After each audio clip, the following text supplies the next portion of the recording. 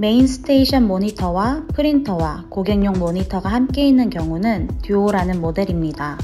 Duo는 고객용 모니터를 들어서 보시면 아래쪽에 조그마한 녹색 버튼을 볼 수 있는데 이것을 3초 이상 꾹 누르면 파워를 껐다 켰다 할 수 있습니다.